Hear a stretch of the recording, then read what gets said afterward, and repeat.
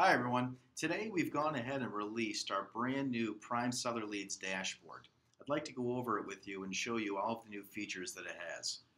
So the very first thing that basically controls the whole dashboard is the date range. So right here in the middle of the, uh, the page where it says please choose a date range, if you go ahead and click on it, you've got some different options. We can choose by today, yesterday, last seven days, last 30 days, this month, last month, or an actual custom range of dates that you choose to put in there. So by whatever date range you have in here, it will go ahead and control all of the information that's being shown on the dashboard itself. So for right now, we have it set to the last 30 days. So if we go ahead and change that to the last seven days, you'll see that the dashboard is going to go ahead and update and reflect the new information just for that time period. So let's go ahead and put it back on the last 30 days. Now, let's start at the very top and go over all these new features that are on the dashboard. At the very top and left-hand corner, if you click that at any time, you'll be able to go back to the dashboard itself, to this page. Moving over to the right, you'll see that we have a badge with the number one here. This is showing us the latest news items from Prime Seller Leads being sent to you. So whenever we announce a new news item, you'll be able to see it automatically here in your dashboard. You'll see a badge letting you know that there's a new news item for you. If you go ahead and just click on it, that will give you a pop-up showing you the news item and the date. Once you go ahead and read all your news items, that badge will disappear and there will no longer be any new news items. Moving over, uh, you'll see an icon here we can go ahead and upload a new icon for your profile image. So you can choose anything you'd like to appear right there. Next button is for your profile, just like it normally was before. All of your information will be set when we set up your site for you. However, if you'd like to change your name or email address or your text email or phone number or whatnot, this is where you would do it from. You can also go ahead and change your password or log out. Now moving down, we have five new boxes here at the top center of the page. Now there's various different information here. So let's start with full leads. Full leads, this number here at the bottom that says 114 full leads, that's going to go ahead and that's going to show us the amount of full leads from this date range that we have chosen. So the last 30 days in this instance. This badge with the number 2 at the top that number will always reflect the number of full leads for today. So at a quick glance, you can see the number of full leads that you had during your chosen date range and also the number of full leads for today. So it's the same thing with the partial leads. This number of 126 at the bottom is showing us the amount of partial leads for this date range for the last 30 days, May 28th to June 26th, and this badge with the number one in the top right hand corner is showing us the amount of partial leads for today. The next box is showing us the average home price for a full lead that you have received. So for this site, it's $284,203 is the average price for a full lead. Next box is showing us the exact same amount of same information, but for partial leads. So it's showing us the average home price for a partial lead which is $354,920. Finally, the last box is showing us the total amount of page views or visitors that have come to the site during this specified date range right here, so in the last 30 days.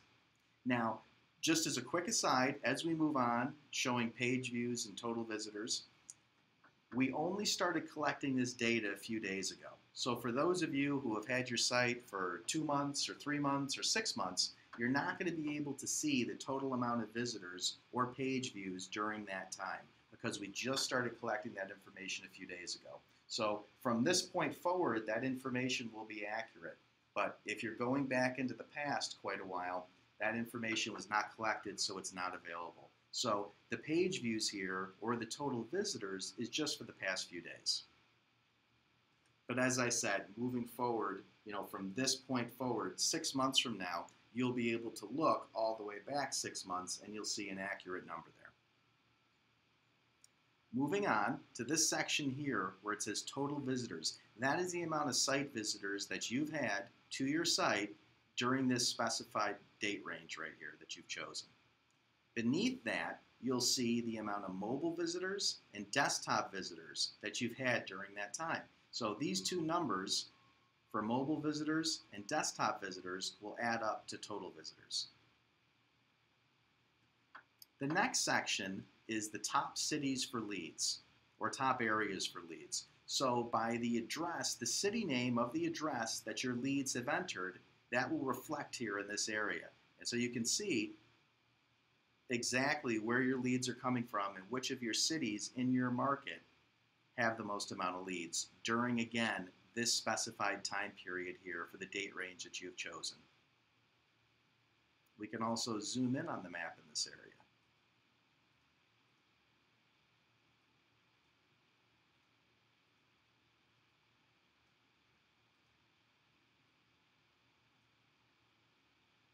The next section beneath that is going to show us where your leads were referred from. So in this column here, so if we mouse over, we can see that these are full leads that we received from Facebook during the specified date range that we've chosen. This is Google, Bing, Yahoo, and this one here is showing you your direct traffic that came directly to your site. Uh, direct traffic could be uh, uh, it could be a referral from uh, an email blast that you might have sent out. Uh, it could be somebody that bookmarked your site and came back.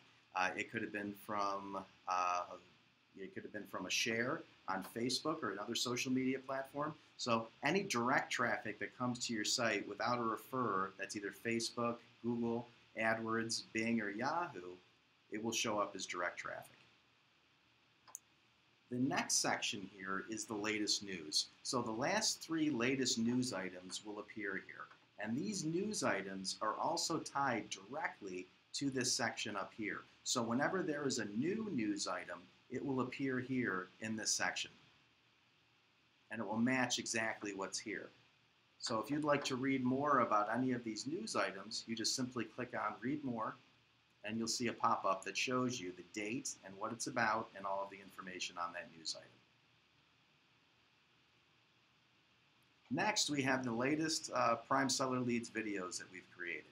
So we'll be regularly updating this section and we'll be putting not only the newest uh, Prime Seller Leads videos, but also the ones that are uh, that our users like to view the most. So uh, most likely, getting started with Prime Seller Leads will always be here. And then we'll also have the newest videos that we've made as well.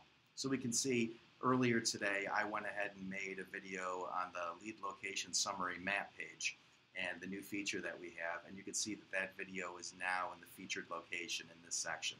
To watch that video, you just simply click the play button. And that video will then start. If you'd like to watch one of these videos here, again, you just go ahead and click it, and you'll see a pop-up and the video will start.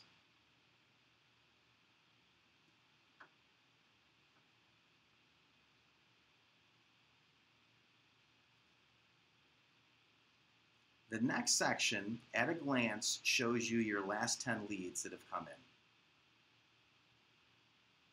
And you can scroll down to see the different leads that have come in during that time.